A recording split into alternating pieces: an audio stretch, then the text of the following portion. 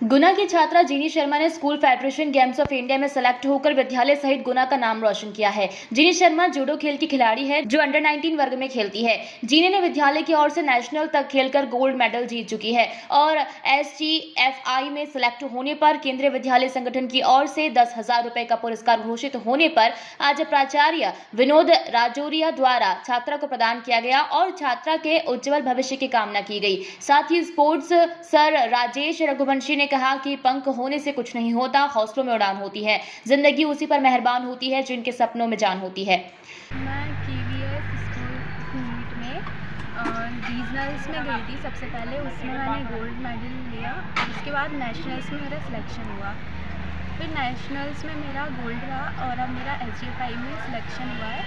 हमारे विद्यालय के लिए अत्यंत प्रसन्नता का दिन है आज का जैसा कि मैंने पहले भी कहा है कि जहाँ शिक्षकों का मार्गदर्शन और बच्चों की मेहनत शामिल होती है तो वहाँ इतिहास ज़रूर बनता है।